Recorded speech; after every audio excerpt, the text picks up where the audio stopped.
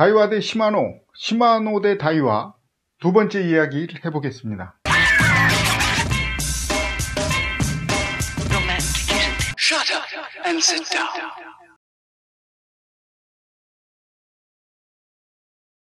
조박사의 피싱 랩입니다.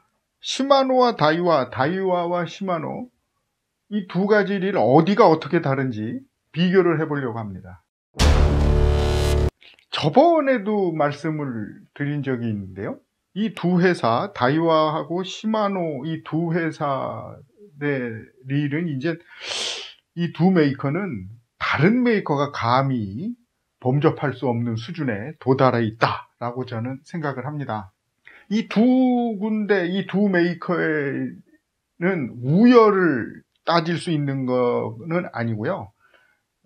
서로 구조 가 조금 다르고 서로 추구하는 바가 다를 뿐이지 완벽에 가까운 낚시용 릴을 만들고 있다고 감히 말씀드릴 수 있을 것 같습니다.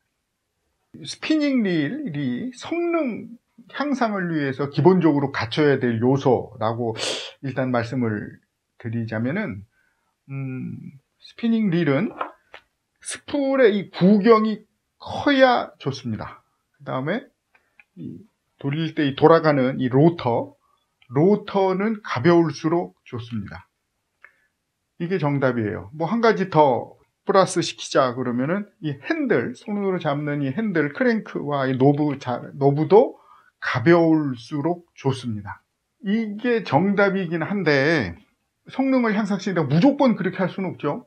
스프를 크게 만들고 뭐 로터는 아주 가볍게 만들고 기계적으로는 성공할 수 있을지 모르겠습니다만 낚시레스는 도구잖아요. 그러다 보니까 인간에 맞게 인간 공학적으로 모양을 만들거나 크기를 만드는 그걸 무시할 수도 없고 그 다음에 내구성을 떨어뜨리면 안 되고요.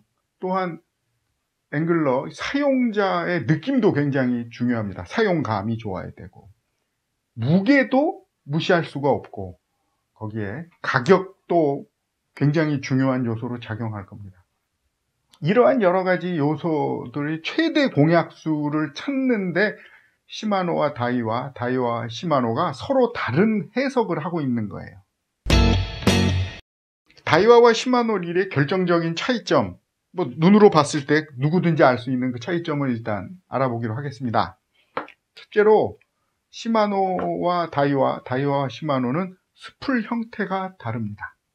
두 번째, 이렇게 낚시줄을 던지기 위해서 열고 닫는 이 bail의 모양이 다릅니다. 다음에 릴을 감으면 스풀이 위아래로 오르내리잖아요. 이 기능을 oscillation이라고 그러는데 이 oscillation을 만드는 방식이 다릅니다. 속의 구조가 다르다는 얘기예요. 기계 구조가. 그 다음에 릴 내부에 들어가는 특수한 부품, 특수한 첨가제 이런 것들이 조금 두 메이커가 다릅니다. 하나씩 자세히 알아보겠습니다. 스풀이 다르다고 그랬습니다. 다이와는 구경이 시마노에 비해서 큽니다. 그리고 역테이퍼 앞쪽으로 갈수록 더 넓어져요. 앞에 구경이 크고 뒤에 구경이 작습니다. 시마노는 다이와에 비해서 구경이 작고 그다음에 긴 스풀을 하고 있어요. 그게 서로 다릅니다. 어떤 게 좋으냐? 서로 일장일단이 다 있습니다. 다이와는 어, 낙지줄을 던져 방출이 될 때 역테이퍼기 때문에 비교적 트러블이 시마노에 비해 적습니다. 그런데 구경이 크다 보니까 줄이 풀려나갈 때 이 호일 궤적이 커요. 그러다 보니까 뭐 개인 취향이겠습니다만은 캐스팅할 때 아, 줄소리가 우리가 호닥닥 소리가 난다거나 어딘가 마찰음이 크다거나 그래서 부드럽지 못하다거나 그렇게 느끼는 사람도 있어요. 시마노는 다이와에 비해서는 확실히 코일 궤적이 작습니다. 그리고 줄 풀려 샥 나갈 때도 아주 부드럽게 착 잘 나가는 것 같아요. 다만 이따가 말씀드릴 이 oscillation, 이 스풀이 오르내리고 하는 그거 구조 때문에 낚싯줄의 트러블이 생기기가 쉽습니다. 두 번째, bail. 서로 다르다고 그러는 베일. 어떻게 다른가 하면요. 다이와의 베일은 에어베일이라는 말을 쓰는데요. 철사 모양이지만 요건 속이 비어 있습니다. 시마노는 가는 철사로 만들어져 있어요. 원래 베일은 어, 든든하고 변형이 없는 굵은 철사를 쓰는 게 교과서적인 정답입니다만 이게 또 가벼울수록 좋아야 되거든요. 서로 모순되죠. 굵은 철사면 무거울 수밖에 없으니까. 그걸 시마노와 다이와가 풀어내는 방식이 다른 겁니다. 다이와는 굵은 철사처럼 보이지만 속이 비어 있으니 가볍죠. 그래서 잘 변형도 안 됩니다. 일종의 파이프니까. 근데 좀 그거보다 좀 센 충격을 받아가지고 이 변형이 왔다. 그러면 되돌릴 수가 없어요. 휜이 베일은 이게 다시 이렇게 필려고 그러다 보면 탁 부러집니다. 그래서 만일에 다이와의 이 에어베일은 충격을 받아가지고 좀 변형이 왔다. 그러면은 AS를 보내셔서 교환을 하는 수밖에 없습니다. 시마노는 가느다란 철사를 쓰다 보니까 이게 작은 힘에도 변형이 돼요. 어디 툭 건드리거나 잘못 세게 만지면 휩니다. 대신에 또 잘 휜 만큼 이렇게 손으로 이렇게 이렇게 만져서 다시 조절해서 되돌릴 수는 있어요. 세 번째, oscillation이 다르다. oscillation은 말씀드린 대로 스풀이 오르내리게 하는 그런 기구입니다. 다이와는 main shaft 뒷부분에 붙어 있는 캠, S자 모양의 캠을 이용해 가지고 스풀을 오르내리게 만들어 줍니다. 내구성이 좋아요. 간단하니까요. 부속이 많지 않고 간단하고 간단해서 내구성이 좋습니다. 대신에 릴 뒷몸 뒷부분이 이렇게 몸통이 커져요. 시마노는 전통적으로 worm shaft라고 하는 홈이 많이 파져 있는 길쭉한 기어를 사용을 해서 스풀을 오르내리게 만들어 줍니다. 실은 다이와도 예전에는 그 방식을 썼어요. 그러다가 이건 구형 다이와 릴인데 이 worm shaft 방식을 쓰다가 2000년대 들어오면서 이런 그 S자 캠 방식으로 바꿨습니다. 시마노는 예전부터 지금까지 계속 이 worm shaft 방식을 유지하고 있어요. 방식이 다르다. 서로 다른 방식 때문에 이 oscillation의 속도가 달라지고 있습니다. 다이와의 oscillation은 핸들 한 바퀴에 한 번 왕복이거나 아니면 두 바퀴 정도의 왕복이 됩니다. 그러다 보니까 스풀의 낚싯줄이 감길 때 서로 이렇게 X자로 크로스 되면서 감겨요.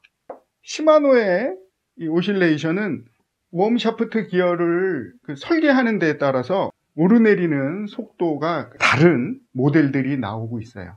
2000년에 밀레니엄 모델이라는 그런 기념 모델이 있었는데 그때는 핸들을 여섯 바퀴 돌려야 이게 한 번 오르내렸습니다. 요건 이제 제가 세팅을 해놨습니다. 2004년 스텔라인데 이거는 네 바퀴 돌려야 한 번 오르내렸어요. 이런 게 2007년도 모델이 나올 때까지 이렇게 다이와하고는 다르게 핸들을 많이 돌려야 한 번 스프리 왕복하는 slow oscillation 방식을 시마노가 상당히 많이 하고 있었습니다. 그러다가 다이와랑 비슷한 속도로 slow oscillation을 관뒀거든요.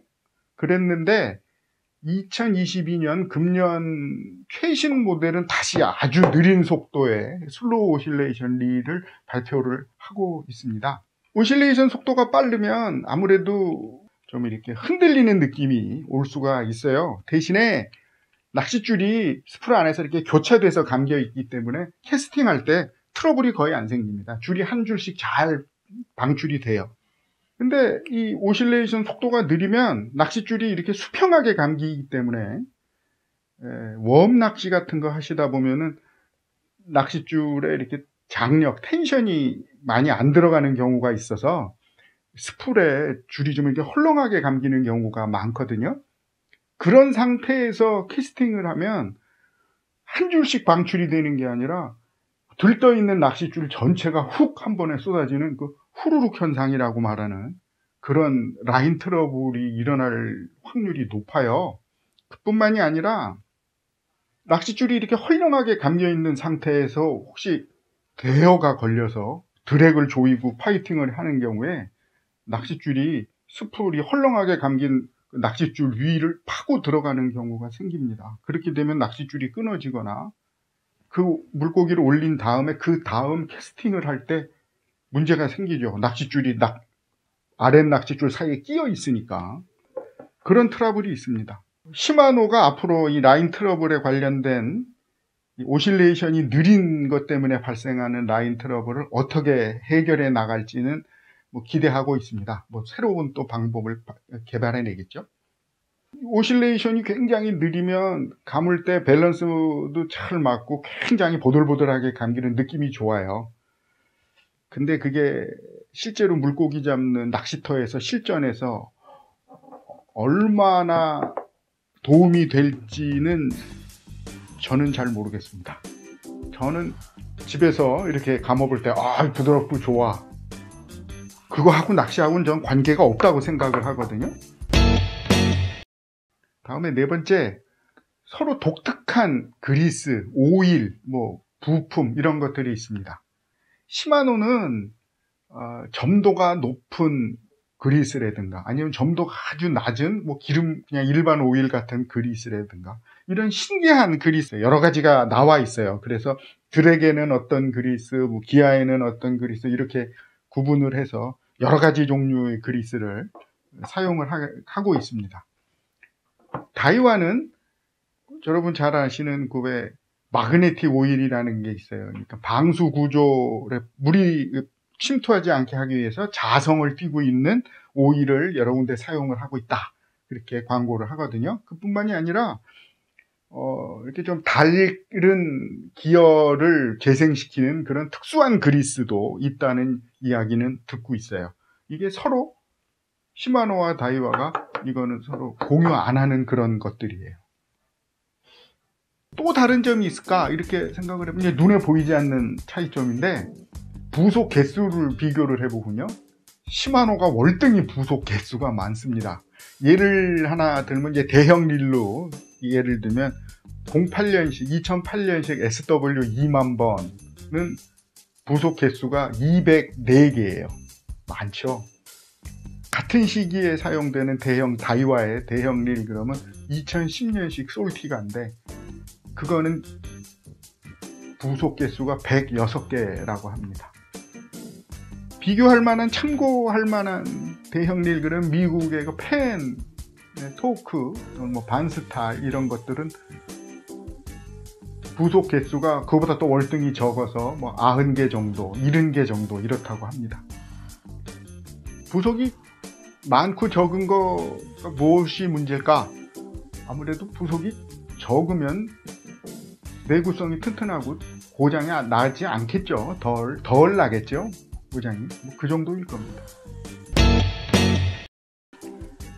자, 이렇게 뭐 크게 눈에 보, 눈에 띄는 네 가지 차이점을 일단 들어봤습니다. 이게 어떤 게 좋다, 나쁘다라는 게 아니에요. 음, 이거는 개인 기호고, 그 다음에 서로 다 똑같, 다이와도 시마노도 릴의 성능 향상을 위해서 여러 가지로 지금 연구하고 있다는 증거가 되겠습니다.